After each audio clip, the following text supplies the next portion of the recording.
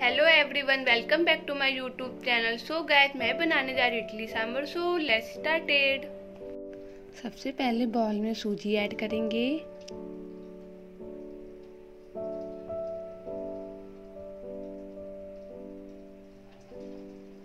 फिर इसमें salt add करेंगे। इसको अच्छे से मिक्स कर लेंगे। अब इसमें वाटर ऐड करके इसका पेस्ट बना लेंगे। अब इसमें इनो का पैकेट ऐड कर देंगे। इसमें थोड़ा सा वाटर और ऐड करेंगे। इसको भी अच्छे से मिक्स कर लेंगे। और इसको 15 मिनट के लिए रेस्ट करने रख देंगे। सांभर बनाने के लिए मैंने एक बाउल में दो कप दाल ऐड की है। मैंने यहाँ दाल को अच्छे से वॉश कर लिया है। और मैंने यहाँ पर बैगन, लौकी और कद्दू लिया है। आप अपनी पसंद की वेजिटेबल इसमें ऐड कर सकते हैं।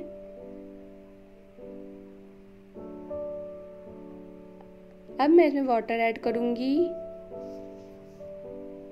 और सॉल्ट और टर्मरिक पाउडर मैंने गैस में कुकर को रख दिया है। तीन सीटी आने के बाद मैंने गैस की फ्लेम को ऑफ़ कर दिया है।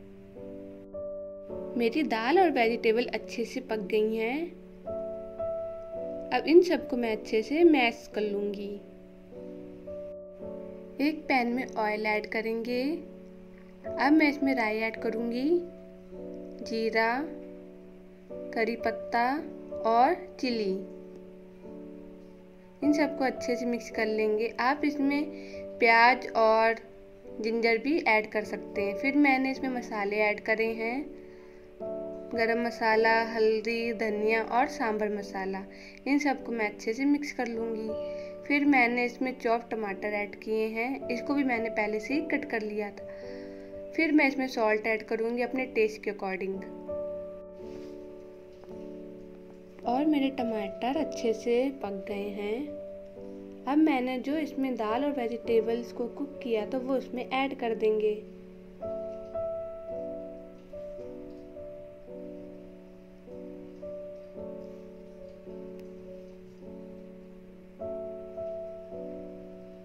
फिर मैंने टू टेबल स्पून नींबू ऐड किया है।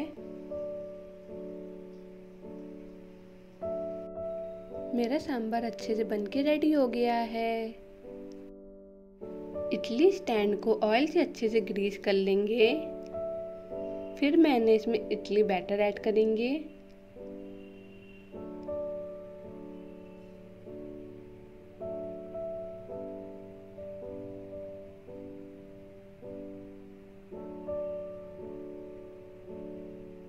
मैंने वाटर को पहले से ही हीट करने रख दिया था। अब मैं इसमें इडली स्टैंड रख करके इसको 10 से 15 मिनट तक ऐसे ही पकने दूँगी। 10 से 15 मिनट बाद इडली को हम लोग चेक करेंगे। हमारी इडली बनके रेडी हो गई है। अब मैं इसको निकाल लूँगी।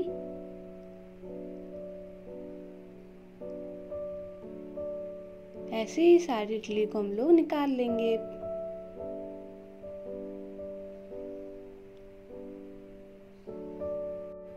मेरा इडली और सांभर बन के रेडी हो गया है। किस किस को इडली, सांभर पसंद है कमेंट में ज़रूर बताइएगा।